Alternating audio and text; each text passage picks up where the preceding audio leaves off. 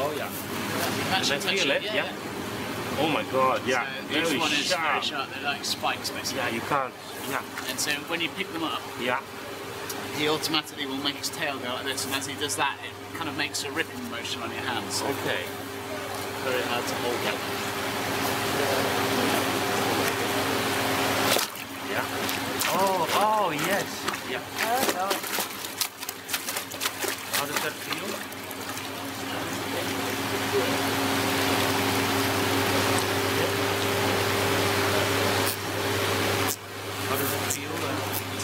to get the, to get the grip, the wrap around. It's quite a large animal. yeah.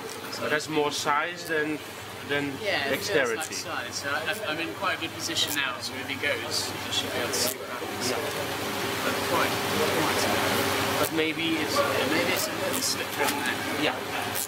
But maybe can- you it's can handle it. what we found with the lizards, where you're more feel like you're more in control, and he's starting to relax. Yes. So when yeah. he thinks he gets away, he'll make a Feels like he's got no way out.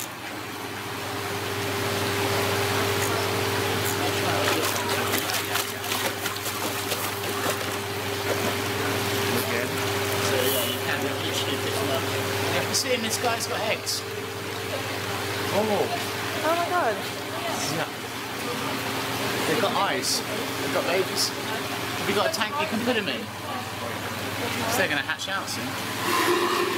wow. They're.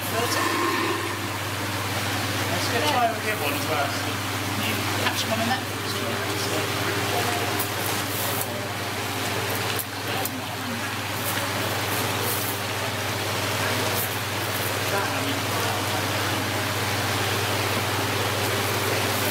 Yeah.